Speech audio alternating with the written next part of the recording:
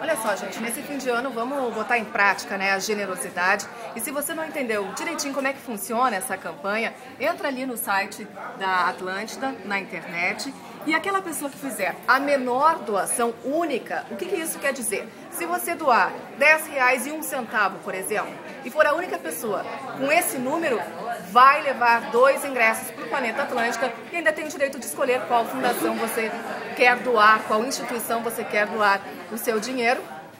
Instituição, claro, que vai estar conveniada, cadastrada no portal social. Então vamos lá, participe, entre ali no site, pegue as informações e doe.